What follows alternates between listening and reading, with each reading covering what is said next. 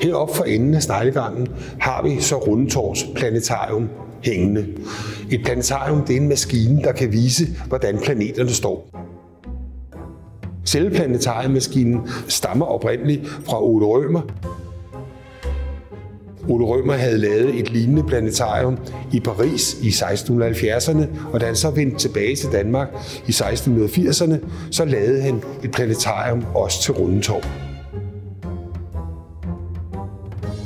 Det, man ser i dag, det er ikke planetariet, som det oprindeligt så ud. Selv den bagplade, vi har siden derop, stammer fra 1929, fordi den tidligere bagplade troede med at falde ned i hovedet på folk. Rundetårs planetmaskine blev oprindeligt brugt til undervisning. I loftet kan man se, at der er en halvkugle. I bunden af den halvkugle er der en messingplade med tre viser og et hul. Hullet kunne man sætte en nøgle op i, og så drejede på nøglen, så drejede viserne rundt og viste, hvor lang tid det var gået, og samtidig kørte planeterne rundt heroppe med den rigtige fart i forhold til hinanden. En anden ændring, man gjorde i 1929, var, at man satte et urværk til at trække. Det urværk skal jeg huske at trække op en gang om ugen. I dag bestræber vi os på, at planetariet viser solsystemet, som det ser ud lige nu. Kom ind og se planetmaskinen her i Rundetårn.